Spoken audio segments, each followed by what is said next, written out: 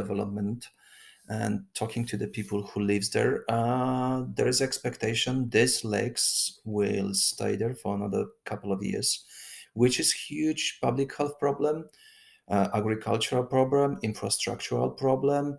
Uh, for example, schools, hospitals, um, mosques. Yeah, you can imagine whatever. Uh, everything is destroyed, and for a couple of years, because this water won't recede uh, there is no chance to actually to rebuild it. Um, so a lot of people have uh, start to ask themselves a question: What can be done to rebuild Pakistan after the flood? This is Basav Sen, who is um, director in Institute of, for Policy Studies, and they are mainly focused on climate justice. So he just simply says, if there are resources and will to do it, um, there is a chance to rebuild the country, and there is a many way to do it. Uh, international development, that's one of thing traditional traditionally used. Um, another thing is foregoing public uh, debt of, of, Pakistan, just simply doing a haircut, haircut because Pakistan could just simply yeah default on paying uh, debt to IMF, whoever, and the private uh, lenders.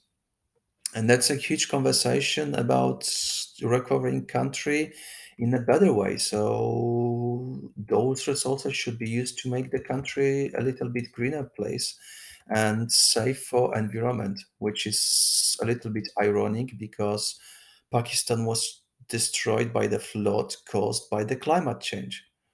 So those two researchers, I really recommend this short article, which give a references to to a couple other things, uh, um, the documents, and uh,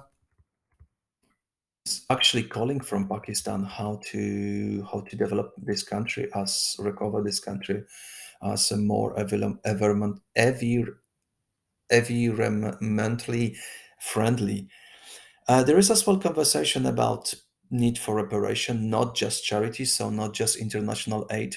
I will ignore this conversation right now because I come from the country which was never involved in that. Poland, actually, European Union.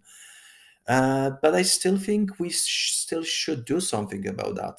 One of the thing is small thing like waiving detention and the demurrage charges in logistics.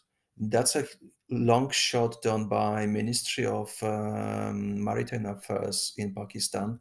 It's just simply the charges taken by carriers, uh, the mm, logistic companies, when the container is in the port and then trucked to the warehouse and then in re- returned empty to to the logistic company.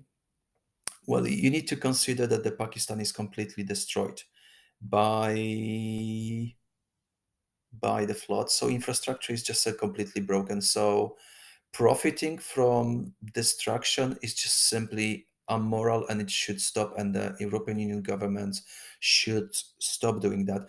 The other thing is right now as well, um, many countries were going to send some international aid to Pakistan and because of this destruction, those big, huge international logistic companies are going to profit uh, from the demurrage charges or detention charges just because the roads are broken. Uh, there are not warehouses to store it. And there may be a problem with just simply uh, um, unloading the truck. So, yeah, that's from the perspective of Pakistan and as well from the uh, don't like uh, European countries who think about giving international aid to Pakistan, humanitarian aid, because this demurrage and detention charges will hit organization who distribute like Red Cross, like I don't know, um, Polish Humanitarian Action, um, or many other organizations who just simply distribute aid in those countries. That's the one small thing which European countries can do. Another thing is reliant to huge connection between Pakistan and Russia and exports from Russia to Pakistan. most recently, huge there was a huge conversation about chances that uh, wheat and grain will be imported by Pakistan to Russia just because of the flood.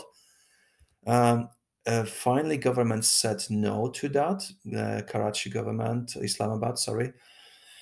Uh, but it's a huge problem as well because Pakistan is going to probably to trade with Russia and buy oil from Pakistan from from Russia.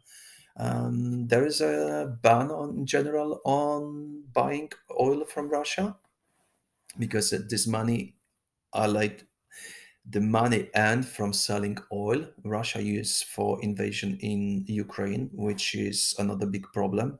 So big international solidarity problem. On the one side, we have a country destroyed by by flood. On the other side, we have a country which is just simply because of disaster to buy cheaper oil in Russia, which is later used to destroy another country. It's ethically and morally and economically just simply messed up. And we, as um, developed Western countries, we should push the agenda to make sure that Pakistan, uh, as a Pakistan, people in Pakistan as well uh, want to do, just simply develop uh, as a green and more environmentally friendly country.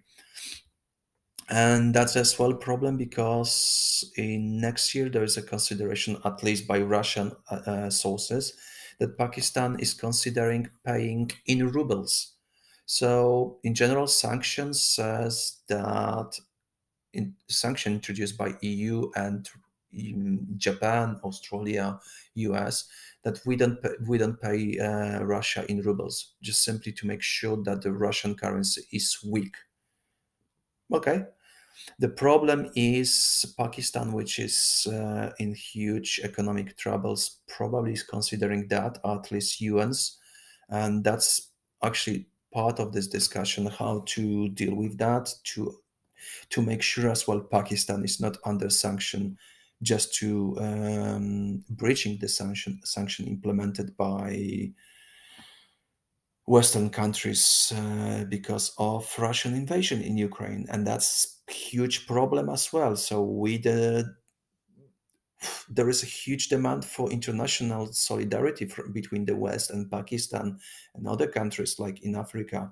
So I really recommend to focus on the couple of small solutions that our countries can do um, to make sure that Pakistan it's not draining this the currency foreign currency resources in dollars so they don't have to pay the demurrage charges detention charges and making sure that Pakistan doesn't have to rely on resources from Russia, for example, or the ter other terrorist countries um, and there is as well last thing I need to mention.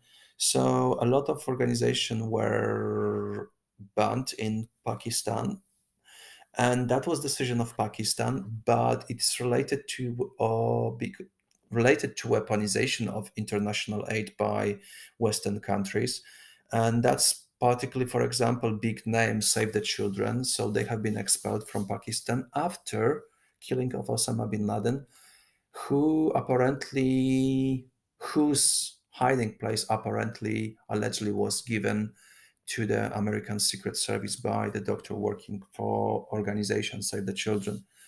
Save the Children wasn't as organization was uh, mm, not involved in that. One worker was involved, but was still huge problem, a diplomatic problem. So we really have to think about that that's my couple of thoughts. I could talk more about that. How we need how we need to think about international um, solidarity because Pakistan is a huge distribution uh, hub, for example, for Afghanistan, again, country which is really international aid dependent and need our solidarity. So it's not a small problem, something happened in Pakistan and will stay in Pakistan. No, it's a huge international problem. And if we seriously think about being uh, internationalists, and having morality and being humanist, whatever you call yourself, that's what we have to talk about, consider, and solve it. So that's my couple thoughts. Have a lovely day and catch up soon.